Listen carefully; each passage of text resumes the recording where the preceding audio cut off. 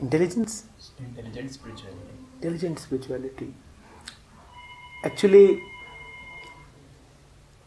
one of the words is redundant.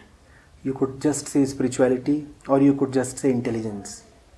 But they both have to be put together for a double effect because a lot that is being touted around as spirituality these days is just stupid.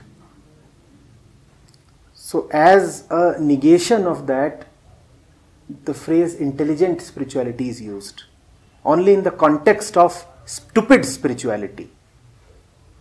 Only in the context of stupid spirituality is the expression intelligent spirituality used. Otherwise, intelligence and spirituality are one. You can remove one of those two words and the same effect will be there. You need not use two words.